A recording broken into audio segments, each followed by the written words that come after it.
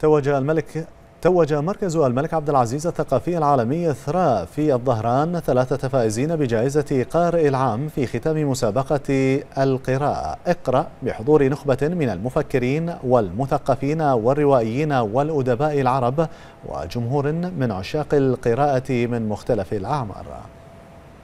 أعتذر لكل اللحظات الجميلة التي كانت تصرخ في وجهي. رحلة مليئة بالمنافسة والدهشة عبر الاستكشاف بشخصيات ملهمة في مجالات السياسة والعلوم والصناعة والأعمال. ونجاح استمر لخمس سنوات متتالية في تبادل المعرفة. اختتمت مسابقة القراءة في المملكة العربية السعودية أقرأ. التي تعد إحدى أهم مبادرات إثراء التي ينظمها مركز الملك عبد العزيز الثقافي العالمي للتحفيز على حب القراءة ومهارات الخطابة. عن طريق القراءة يستطيع الشخص ليس فقط إزادة معرفته الذاتية ولكن أيضا التواصل مع حضارات العالم. وهذه السنة في سنتها الخامسة آه، يعني نحتفل بأنها تعقد لأول مرة في المركز آه، الملك عبد العزيز في إثراء لأول مرة. ومتشرفين جدا آه، بالمتسابقين اللي قضوا مشوار على مدى سنة كاملة. مراحل متعددة من التصفية وجولات إثرائية متنوعة إلى أن يصل إلى هذه المنصة اليوم ليتوج الفائز من كل مرحلة بلقب قارئ العام. كان هناك إضافة مهمة جدا كبيرة على مستوى مسابقة. أقرأ أنه يستطيع المسابقة في المشاركة فيها السعوديين وغير السعوديين.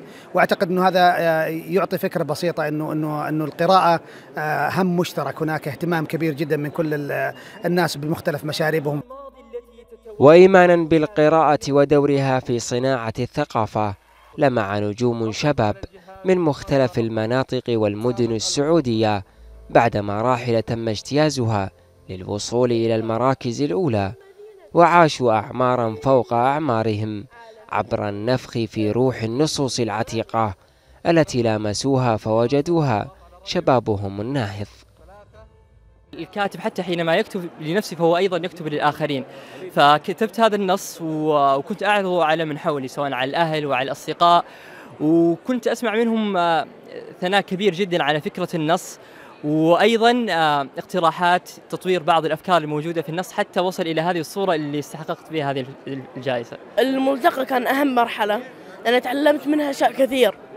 وبتم أثرها منقوش على على قلبي لمدى الحياة. ومن مسابقة أقرأ بشكل عام راح أبدأ إني أتطور في القراءة. المسابقة هي صحيح أنها تجربة العمر الواحد لكن ستيل آه، هي يعني خلاص فتحت لك الأبواب يعني. فالاستمرار آه، حيكون آه، مسؤوليتك أنت يعني. وبما أنك أنت الآن آه، بحثت عن شغفك فالمفروض أن الاستمرار هذا هو المطلوب الآن. القراءة لا تقتصر على الكتاب والثقافة أبوابها مفتوحة للجميع. ما تقول لا. أنا من زمان عن المسرح ورجعت لي تجارب المسرح وأنا صغيرة. والحمد لله يعني أحس أني ممنونة وشاكرة لهم أنه أنا رجعت المسرح الحمد لله.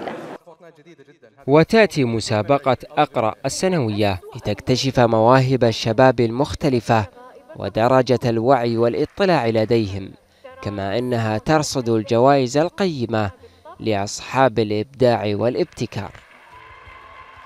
مسيرة شبابية حفزت هؤلاء على صناعة الإبداع وشغف التحدي فعلى مدار خمس سنوات من التألق الفريد. الذي نقش في نفوسهم أخذهم من كونهم متلقين للمعرفة إلى منتجين لها.